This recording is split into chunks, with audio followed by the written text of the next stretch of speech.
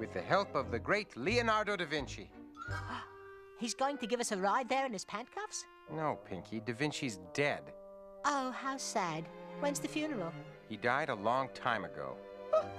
And I forgot to send flowers.